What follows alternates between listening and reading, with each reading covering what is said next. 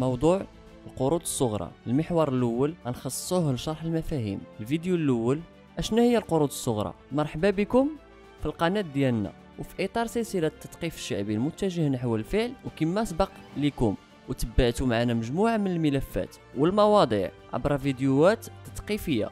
جبنا لكم هذه المرة موضوع آخر مهم وكيعنينا بزاف اللي هو القروض الصغرى. واش ديجا سمعتوا بهذا الاسم؟ ايوا ونشرحوه. القروض الصغرى كنقصدوا بها دوك السلفات ولا التمويلات الصغيرة. علاش صغيرة؟ حيتاش القدر ديالها كيتراوح بين 500 درهم اللي هي 10000 و 50000 درهم اللي هي 5 المليون كحد أقصى. معدل فائدة توصل حتى ل 35% وبعض المرات أكثر كاع على حسب المبلغ اللي مسلف والمدة اللي باش غترجعو. إلا بغيتي تعرف شكون كيقدم هاد السلفات ومن كيتعطاو واش فعلا صالحة لينا ولا لا؟ تبعوا سلسلة كاملة. غنخصصوها للقروض الصغرى على قناة ديال أتاك المغرب.